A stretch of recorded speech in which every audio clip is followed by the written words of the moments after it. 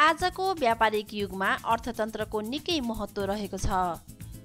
व्यापारलाई सहज बनाउन बन्दरगाहहरूको छुट्टै महत्त्वपूर्ण योगदान रहने गर्दछ। हाल नेपालमा सुक्खा बन्दरगाह बिरगन्जसँगै विराटनगर भैरवा र नेपालगञ्जमा सञ्चालनमा छन् भने काठमाडौँ तातोपानी रसुवा काकरभिट्टा र दोधारा चाँदनीमा योजनामा रहेका छन्। काठमाडौँ उपत्यका भएर इम्पोर्ट एक्सपोर्टको लागि निकै महत्त्व दिएर हेरिएको सुक्खा बन्दरगाह हो चोबार सुक्खा बन्दरगाह। आज यही विषयमा केन्द्रित रहनेछौँ। हामी सँगै रहनुहोला।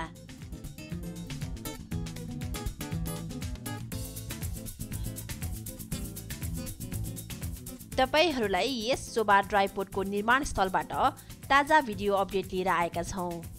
साथै यससँग सम्बन्धित जानकारीहरू पनि यहाँहरूमा राख्नेछौँ। यस अघिको हामीले तपाईँहरूलाई देखाएको पछिल्लो अपडेटभन्दा आज कामहरूले धेरै गति लिएको देख्न पाइन्छ।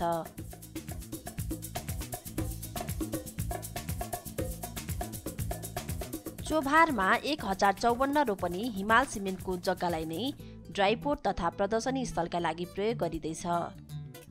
सन् उन्नाइस सय चौहत्तरमा जर्मन सरकारले उपहार स्वरूप यो सिमेन्ट फ्याक्ट्री बनाइदिएको थियो। जुन व्यवस्थापकीय कमजोरी र वातावरणीय मुद्दाहरूको कारण सन् दुई हजार दुईमा बन्द हुन पुग्यो। त्यसपछि सरकारले यहाँ सुक्खा बन्दरगाह र अन्तर्राष्ट्रिय प्रदर्शनी केन्द्र बनाउने योजनामा काम गरेको पाइन्छ। यहाँ रहेको एक हजार चौवन्न रोपनी मध्ये दुई सय अठाइस रोपनी ड्राई पोर्टका लागि र आठ सय छब्बिस रोपनी अन्तर्राष्ट्रिय स्तरको प्रदर्शनी केन्द्रका लागि छुट्याइएको छ।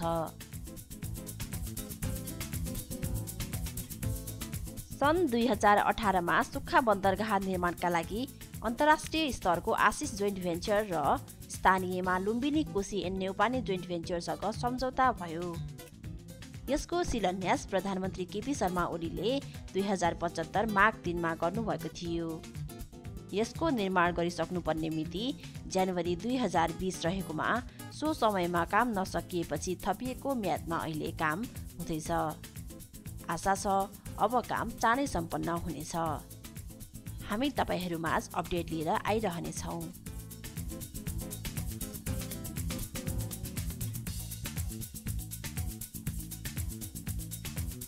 वर्ल्ड ब्याङ्कको एक करोड तेत्तिस लाख अमेरिकी डलर ऋण सहयोगमा बन्ने यो सुक्खा बन्दरगाहमा warehouse parking lot litigation shed भन्सार भवन ब्याङ्क तथा अन्य सुविधाहरू हुनेछन्।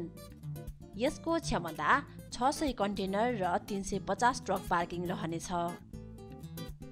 यो सुक्खा बन्दरगाह समयमै भन्दा यसले बिरगन सुक्खा बन्दरगाहको भारलाई पनि कम गर्नेछ भने व्यापार व्यवसायमा पनि सकारात्मक प्रभाव पार्नेछ र आर्थिक अवसरहरू पनि सृजना हुनेछन्। साथै फास्ट ट्र्याकको छेउमै रहेकोले यसलाई विशेष महत्त्वले हेरिएको छ।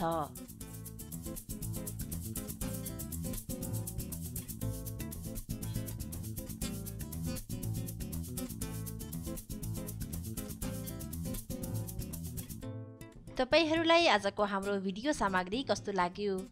कृपया कमेन्ट गर्न नबिर्सिनुहोला। तपाईँले यस च्यानललाई सब्सक्राइब गर्नुभएको छैन भने हामीलाई सब्सक्राइब गरेर साथ दिन अनुरोध गर्दछौँ। भिडियोलाई अन्तिमसम्म हेरेर साथ दिनुभएकोमा धन्यवाद।